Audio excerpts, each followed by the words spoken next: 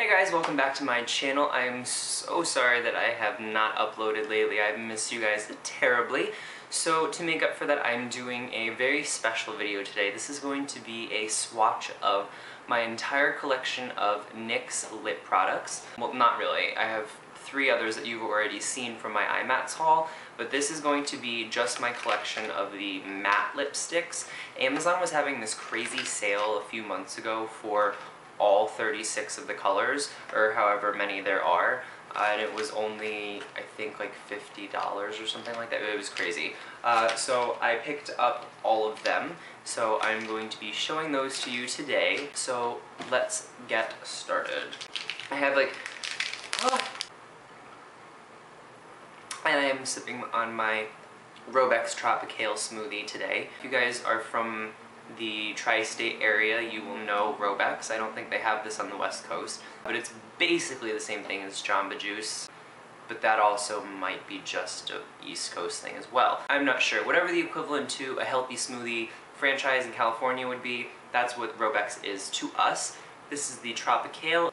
It has pineapple, apple, apple juice, orange juice, kale, and ice and it's delicious. Okay, so let's get right into these lip products. The first two that I'm going to show you guys are Eurotrash and Bloody Mary. Bloody Mary is a very deep toned fuchsia. It has more of a purple undertone to it than a pink undertone. It's very pretty. It's great to pair if you wanted to have just a simple cat eye and have the attention drawn to the lips and not too much going on with the eyes. This would be a great color to use. Eurotrash is just a mauvey nude. It's more on the grayish pink side with a brown undertone to it. Right here is Eurotrash. This is the more mauve toned nude pink and the top one is Bloody Mary and that is again the more fuchsia but more purple toned fuchsia than a hot pink. The next color is Perfect Red which as I'm sure you can guess from the name is just a deep red color. It's a little more of a blue toned red than a orange toned red or like a Ferrari colored red, but it's a very, very pretty red and it's a great statement color if you wanted to do a very vintage like Gatsby look or if you wanted to do a pretty pinup. Maybe not a pinup because those are those tend to be a little bit more on the orange or brighter red tones than the deeper reds, but it's a really pretty color if you wanted to wear it to a special event and you could leave it matte or top it with a gloss. The next color that I have to show you is Shocking Pink and it looks like this. This is a bright fuchsia and I will swatch that for you. It's very, very bright. All of these colors are very pigmented as well and they're very creamy and they're just gorgeous. This color is stunning, so let me show you guys. This one right here is Perfect Red, and as you can see, it's just a very deep toned red, and this one is Shocking Pink. Next two are Alabama and Hippie Chic. Alabama is a very deep red wine color.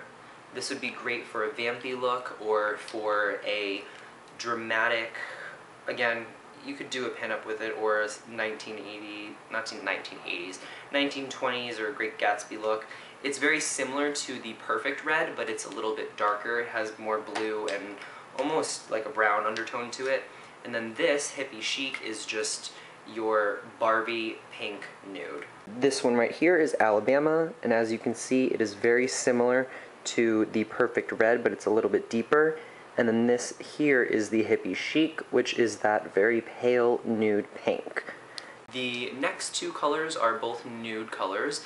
This is Natural here, and it is, it's just a berry, it's like a berry color with a brown undertone to it, and it when it comes off, it's more like your natural lip color, which it should, it's called Natural. Maison, which is the second color, this one right here, it's just a brown, it's a brown lipstick. If you're into brown lipstick, you could pull this off. It's really great. I personally, it doesn't look good on my skin tone. So this one is Maison, and this is the brown nude color. And again, it's a very deep brown. It's kind of muddy almost. It would only look good on certain skin tones or for a certain look. I definitely would not wear that every day. And then this one is natural right here. And as you can see, it is a more pink toned neutral but with a slight brown undertone and it's not quite coming out on camera but it's very close to a natural lip color which it should as it's called natural. The next two colors that we are going to talk about are Whipped Caviar and Indie Flick. So these two are one of two of my favorite colors out of all the ones that I own.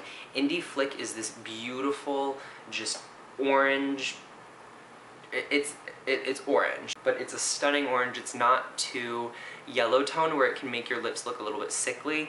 It's just, it's the perfect amount of red and coral mixed together where it just makes this, ugh, you'll have to see it. Mmm, okay. Enough of that. That's That color is just stunning. The second color is Whipped Caviar. Whipped Caviar is very similar to Natural if it didn't have the brownness to it. It's very similar to your own lip color and it looks great when you top it with a nude lip gloss or a pink tone lip gloss. So this is Indie Flick, that perfect orange color without being too fire truck orange and I don't know if it's coming out quite right but it's just ugh it's the most beautiful color and then this here is what is this one? Whipped caviar. This is whipped caviar. As you can see, it's very similar to the natural color, but it has a little bit more of a deeper pink color to it, and it's very, very pretty. Had to open the blinds, we were running out of light. So the next two colors that I'm going to talk about are Merlot and Tea Rose.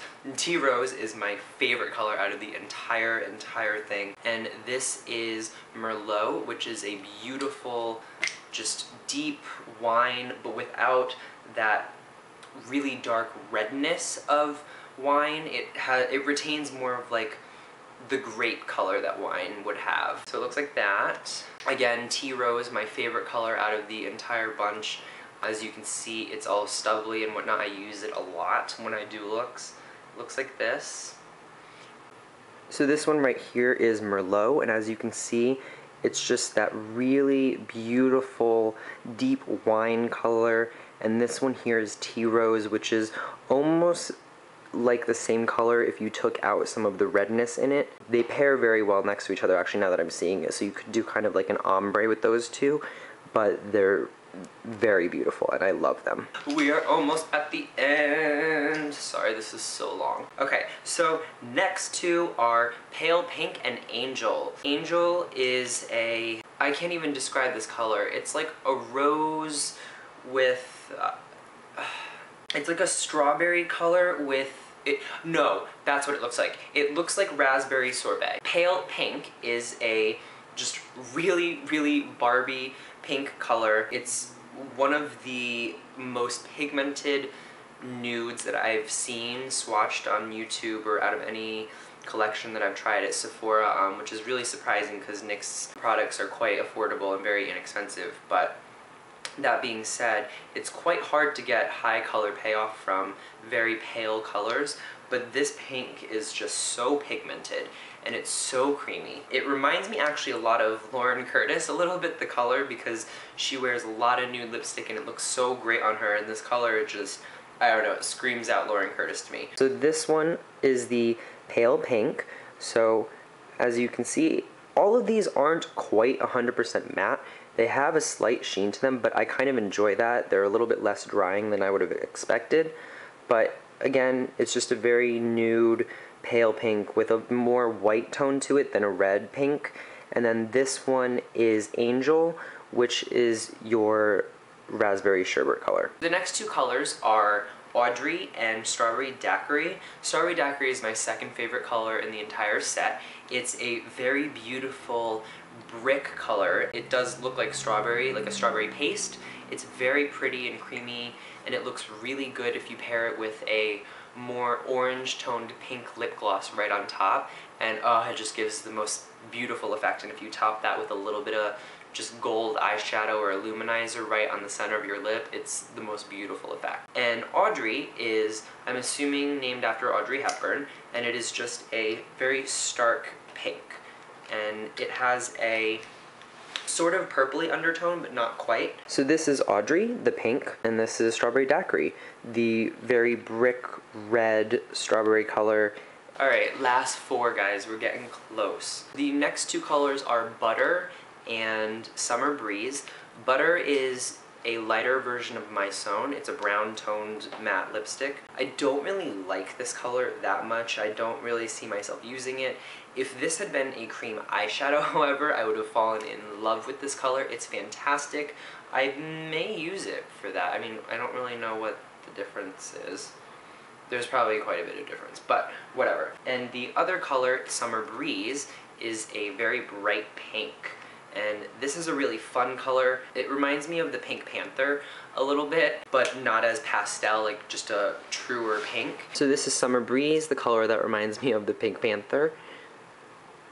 And then this is Butter. And the last two colors, we're all done guys, is Sierra and Sweet Pink. So Sweet Pink is, as you would guess, a bright pink. Now, my problem with this set is my idea of a pink is I don't know, it, it's like Juicy Couture pink, like that signature pink color, or uh, I don't know, like a pink. These are all fuchsias. The colors that they say sweet pink or like pale pink or all those pink named colors, they're very fuchsia toned. So I would have liked to have seen a few more true pinks in this range of, in this line of matte lipsticks, but Again, they are very affordable and I understand that pinks are quite hard to do a lot of the time.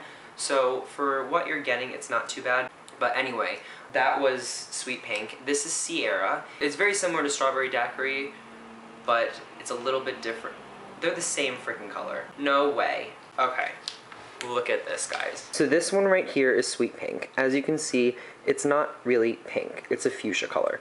This here is, this is Sierra, and then this is Strawberry Daiquiri at the top of my arm. I just drew a line to connect them. If there's any difference between them, I can't see it. So they're exactly the same color. If you're gonna buy this set, just buy one of the two. Personally though, I would buy Strawberry Daiquiri because it's just a cuter name. I know this video was very long, but the reason that I wanted to go over all these products with you was I just wanted to show you guys what a huge color range you can get from a brand that is quite affordable without having to spend tons and tons of money. You saw the swatches, the color payoff is incredible on these products. Yes, the colors may be quite similar to each other, whereas in higher end brands you get a wider variation between colors. But I mean realistically, the price that I paid for all of these combined would be equivalent to or less than one, say, Tom Ford lipstick or equivalent to a Chanel or a YSL lipstick. I mean, it's just insane how expensive certain products are when you can buy other products that are so much more affordable, try out so many more colors and experiment with different looks, and then go buy the high-end products in your favorite colors. That's what I truly believe you have to do with makeup. I don't know if I've ever touched base on this with you guys, but when I first started doing makeup, all I could afford was drugstore products. I also was very young at the time, so I couldn't be like, hey mom, can you take me to the Chanel counter when I was in middle school, you know? All of my skills, all of my knowledge that I have in terms of my makeup application started at the drugstore. So it is really my firm belief that you don't need to start out with high-end products. You don't need to watch a YouTube video and see a girl using the ambient lighting palette and then feel like you have to go buy that or you can't buy any highlighter at all. That's not true. There are so many great products out there that you can use for many purposes. You could even use your favorite gold shimmery eyeshadow for a highlighter. So that being said, don't feel pressured to go out and buy all of the new colors from the Riri Mac, Riri Mac collection or whatever you wanted to buy you could easily spend half that much and get tons of products and try out new things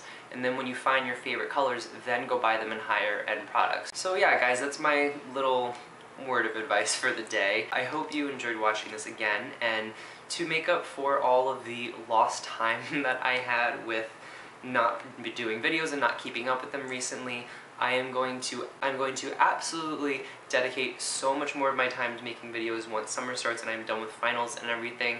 Just two more weeks of school, guys, and then I'm all yours. So be ready, lots of fun stuff to come this summer. But to hold you over until then and to make up for the lost time, I will be doing my absolute best to find this entire collection again on Amazon to gift to one of you guys. I will be announcing it in a later video if I am able to find it again. I think it was a like a special sale, but if it wasn't, if it wasn't a special sale and I can just buy all 36 of them again in a collection and send it to one of you, I will absolutely do that. So that will be announced in my next video. I will catch you guys later and thank you so much for watching. I love you all so much. And yeah, bye.